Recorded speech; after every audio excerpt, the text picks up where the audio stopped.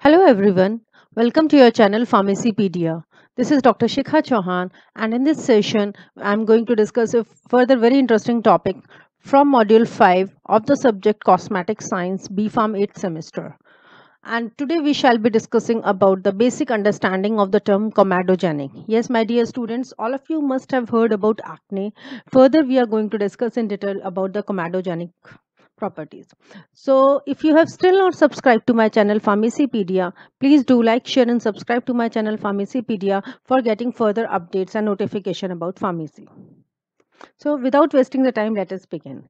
Comedons. So what are comedons? Comedons are basically the red color papules which appears on the surface of the skins. So they are basically bumpy in appearance and they usually develop on the forehead and the chin. So they are into two forms, basically the blackheads and the whiteheads. Blackheads and the whiteheads are the most common forms of the comedonal acne. Blackheads have open comedons, whereas the whiteheads have closed ones. So whereas some comedons may be not be visible to the eyes. So all the types of comedons basically have the bumpy appearance. Typically blackheads and the whiteheads are caused by trapped hair follicles. So my dear students, acne can be further classified into comedons. There are basically two types of the comedons, black comedons and the white comedons, also known as the open comedons and the closed comedons. So open comedons basically refers to the blackheads, whereas the white comedons basically refers to the whiteheads, closed comedons. So they are uh, causing our skin surface to be bumpy and they are actually sometimes painful also. So talking about the blackheads first, blackheads are basically open faced. So when the melanin pigment we have the melanin pigment which is found in the sebum produced by our oil glands.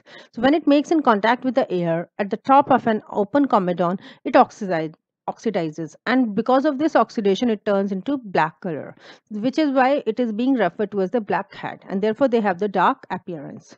Talking about the different forms of the acne acne may be like your blackheads whiteheads papules nodules pustules depending on the type of the intensity and the changes they do make inside the skin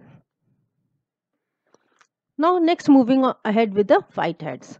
So whitehead as the names indicate white they have they have the closed surfaces and they look they look like a small white or flesh colored dots. Now, why are they formed? Blackheads uh, or whiteheads, why are they formed? The, the, it usually happens that the surface uh, discharges the dead cells. So, dead skin gets uh, entrapped with the hair follicles. So, when the dead skin is not being removed out and it gets entrapped with the hair follicles, when combined with the natural oils in the pores, for example, the sebum, a plug can be formed. So, this type of acne primarily affects the adults with the oily skin. It is more common in the people who smoke. Then the risk factors for comedonal acne.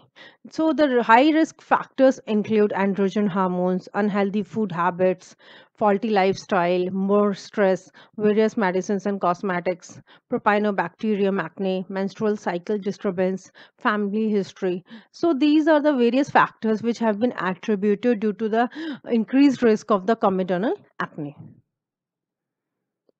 Now, what are the treatment options which are being available?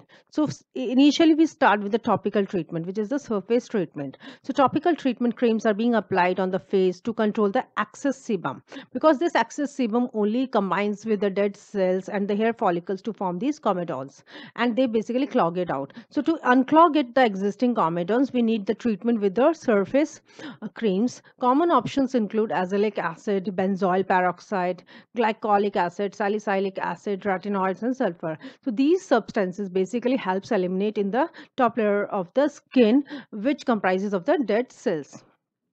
Then next moving on to the oral medications. So they uh, generally includes antibiotics, oral contraceptives, isotretinoin and spironolactone, which is uh, an anti-androgen medications. So they uh, along themselves or in the combinations are widely used for the treatment of comedonal acne.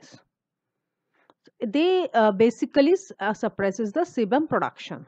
Third is the surgical treatments. This is not the popular method for the treatment of comedonal acne they may be required if topical and the oral medications fail to clear up the severe comedonal acne outbreaks. So these types of the treatments may also help with the recurring comedons.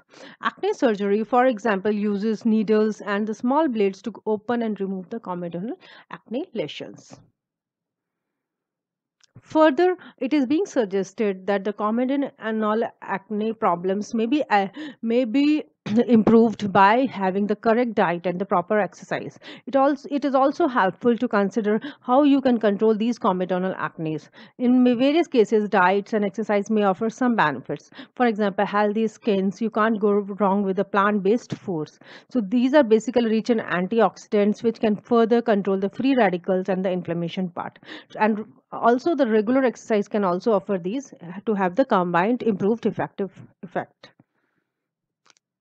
so my dear students i hope you are now clear with the basic understanding of the comedonal acne type of the comedonal acne blackheads whiteheads treatment options why they are being formed and how can this type of the problem be alleviated? And what are the different treatment options available Thank you so much for watching my video. Please do like, share and subscribe to my channel Pharmacypedia for getting further updates and notifications about uh, various topics related to cosmetic sciences. Thank you so much everyone.